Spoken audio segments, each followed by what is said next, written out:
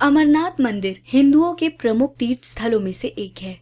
इस मंदिर को तीर्थों का तीर्थ भी कहा जाता है। यह मंदिर कश्मीर के श्रीनगर राज्य में स्थित है। हिंदू पौराणिक कथाओं के अनुसार माना जाता है कि इसी स्थल पर भगवान शिव ने माता पार्वती को अमृतत्व का रहस्य बताया था। इसके साथ ही यहाँ पर मान्यता है कि हिम की बूंदों से लगभग 10 फीट ऊँचे शिवलिंग का निर्माण भी होता है। आश्चर्य की बात तो ये है कि शिवलिंग का आकार चंद्रमा के घटने बढ़ने के साथ ही घटता बढ़ता रहता है। अमरनाथ की यात्रा जुलाई से लेकर अक्टूबर महीने तक केंद्र सरकार की निगरानी में की जाती है। यहाँ पहुँचने के लिए श्रीनगर मुख्यालय से हवाई मार्ग द्वारा बालटाल पहुँचकर पैदल अथवा खच्चर द्वारा श्रद्धालु यहाँ पहुँचते हैं।